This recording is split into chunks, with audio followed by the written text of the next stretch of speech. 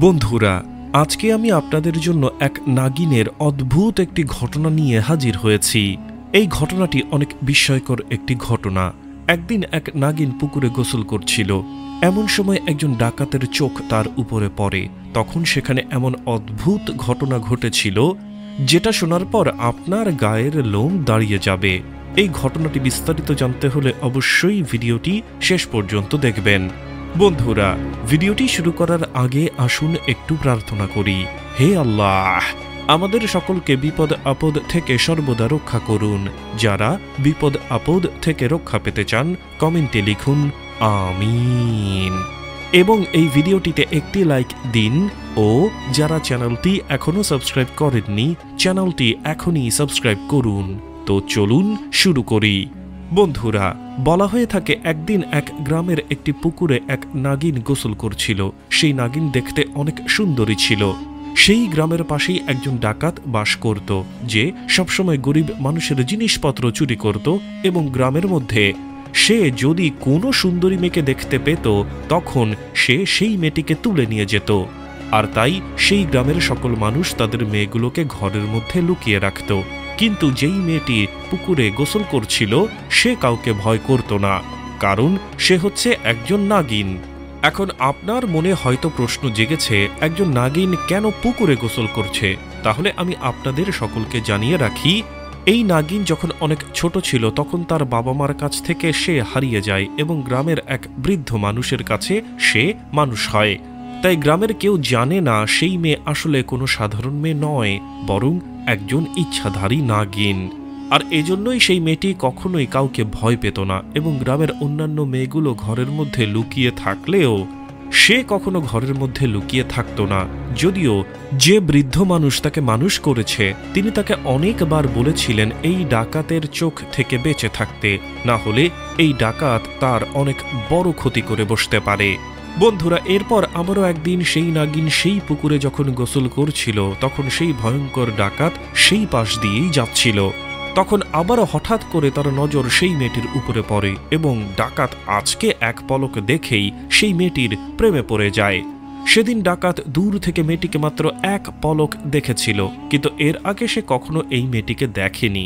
আর এই নাগিন দেখতে এতই বেশি সুন্দরী ছিল যে যে একবার তার দিকে তাকাতো, সে আর তার চোখ ফেরাতে পারত না। আর এজন্যই ডাকাত তাকে দেখার সাথে সাথেই তার প্রেমে পড়ে যায়। আর এখন ডাকাত যে কোনোভাবেই হোক, সেই সুন্দরী মেয়েটিকে পেতে চায়। এরপর ডাকাত তার সাথীদেরকে বলল, তাড়াতাড়ি করে একটি চিঠি লেখো এবং সেই চিঠিটি এই মেয়েটির বাবার কাছে পাঠিয়ে দাও। এরপর ডাকাতের দলের সদস্যরা একটি চিঠি লিখল এবং সেই চিঠি নিয়ে সেই মেয়েটির বাসায় চলে গেল। এরপর যখন সেই নাগিনের বাবা এই চিঠিটি দেখল, তখন ওনার মনে হচ্ছিল তার পায়ের নিচ থেকে যেন মাটি হারিয়ে গেছে। একে তো তিনি জানতেন তার মেয়ে কোনো সাধারণ মেয়ে নয়, তার মেয়ে একজন নাগিন। তার উপরে যদি সেই ডাকাত যদি তাকে কিছু করতে আসে, তাহলে সেই ডাকাতের কি অবস্থা হবে, এটা ভেবেই উনার পায়ের নিচ থেকে মাটি হারিয়ে যাচ্ছিল। কেননা তিনি জানতেন সেই ডাকাত তার মেয়ের কোনো ক্ষতি করতে পারবে না, আর সেই মানুষটি সেই নাগিনকে ছোট থেকে বড় করেছে শুধুমাত্র একটি কারণে, আর সেটি হচ্ছে, সেই মানুষটি কখনো বিয়ে করেনি এবং তার কোনো বাচ্চা কাচ্চা না থাকার কারণে অন্য আরেকটি গ্রাম থেকে সে এই গ্রামে বসবাস শুরু করে এবং এই গ্রামের সকলকে জানায় এই নাগিন তার একমাত্র মেয়ে।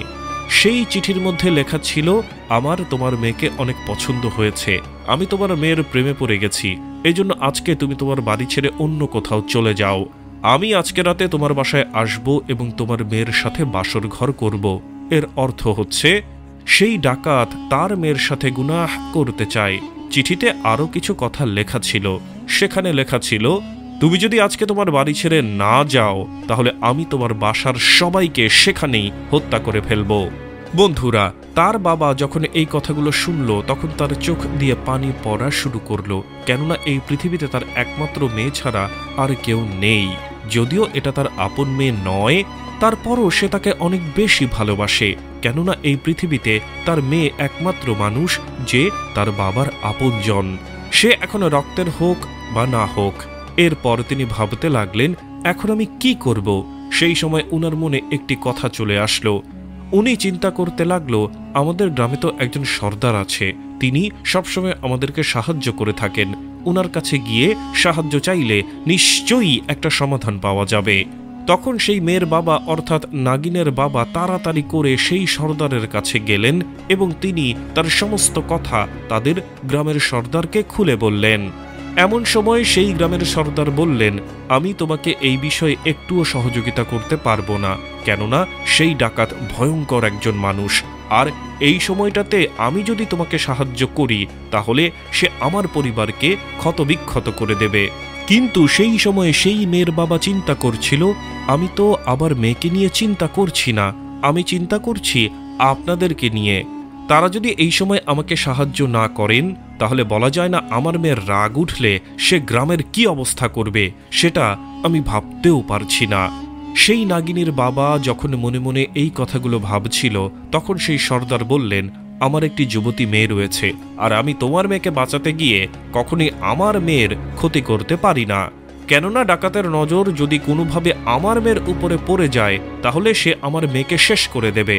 আমি আমার মেয়েকে আর কোনো দিন বিয়ে দিতে পারব না। আর এজন্যই আমি কোনোভাবেই তোমাকে সাহায্য সহযোগিতা করতে পারব না। আমাকে মাফ করে দাও, আমি তোমাকে আজকে কোনো প্রকার সাহায্য করতে পারলাম না।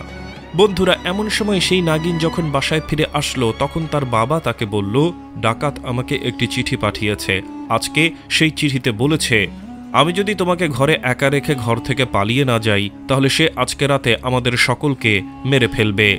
তখন সেই নাগিন বলল, বাবা তুমি তো আমার ব্যাপারে সবকিছুই জানো, তাই আমাকে নিয়ে তোমার চিন্তা করতে হবে না। তুমি আজকে রাতে এখান থেকে চলে যাও।